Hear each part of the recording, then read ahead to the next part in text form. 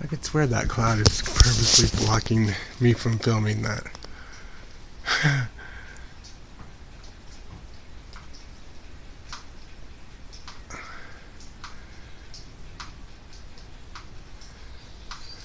Get out of the way.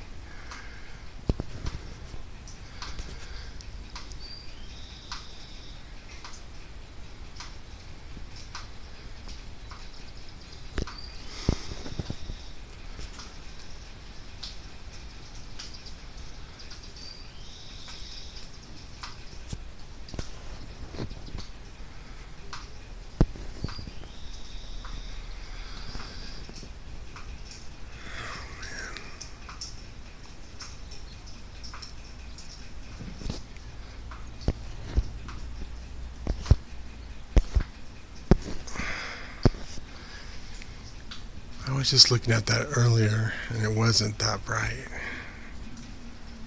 I was looking right into it and now it's like blazing. I have it on film. I'm definitely gonna have to check that out.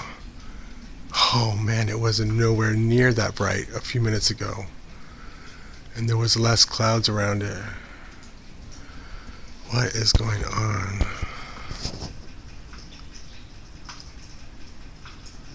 I mean, I could look at the whole spherical shape of it without even, you know, hurting my eyes. And now it's like, pow!